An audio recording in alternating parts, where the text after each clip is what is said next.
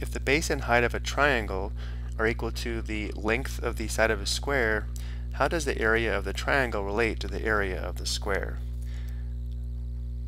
The area formula for a square is s times s, where s is the length of one of the sides. The area formula for a triangle is area equals 1 half base times height, where the length of this side here would be the base, and the vertical height would be h. But in this example, we're told the base and height of the triangle, or b and h, are both equal to the length of the side of a square, so we could replace both h and b with s, the length of one of the sides of the square. So if this is the case, notice how the area of the triangle is going to be equal to 1 half times s times s, and comparing this to the area of the square, area equals side times side, notice how the area of the triangle is going to be half the area of the square.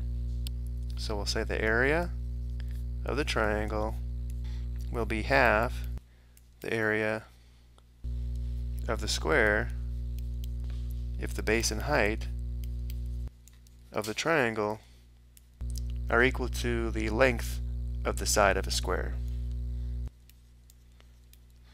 Of course, if we wanted to, we could also look at a specific example to see this relationship. For example, let's just say that the length of the side of the square is, let's say, 10 inches.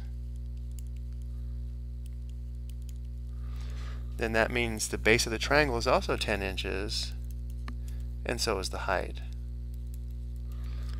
Well, we know the area of the square is going to be equal to 10 inches times 10 inches, which equals 100 inches squared. And for the area of the triangle, we'd have area equals 1 half times 10 times 10, which would be equal to 50 square inches. So looking at a specific example, we can see the area of the triangle is half the area of the square if the base and the height are equal to the length of the side of a square.